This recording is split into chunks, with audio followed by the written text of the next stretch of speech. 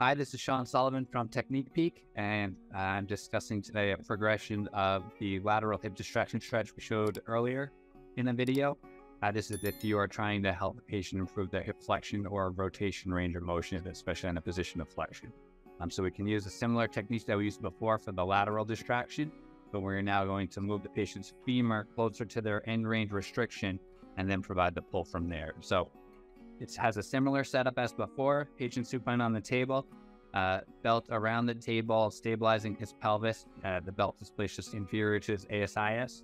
We're going to use a towel for patient comfort and drape it over his proximal femur. And then we're going to use a belt on our end to help us provide uh, a good level of pull and also so that we can have our hands free to help move the femur into position. So belt is here. You want to make sure that the buckle isn't against the patient's skin or their uh, thigh. We're going to wrap the towel around them and try to slide it as proximal to the femur as they can so that we get the most direct line of pulls to the joint. Now, from here, instead of before where we were letting his foot rest on the table, we need to position his leg into more flexion. So we're going to bring his leg up into position here. You want to make sure that he's not holding it and that you can really be comfortable and support his leg. So you should feel like it's heavy against your hands. I like to keep it rested right up against my body.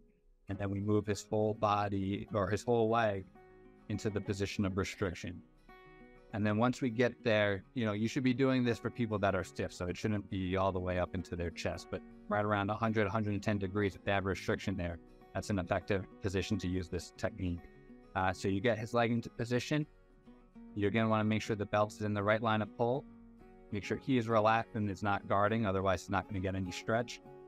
You're going to do that same little scoop motion from here, and then you're going to pull laterally, and you're letting the femur come with you so that the femur is moving as a unit out to the side and feel for that return back aim.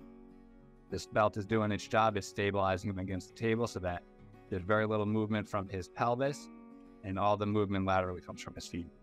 How's that feel, Marvin? Good. Just make sure that the belt isn't causing any discomfort.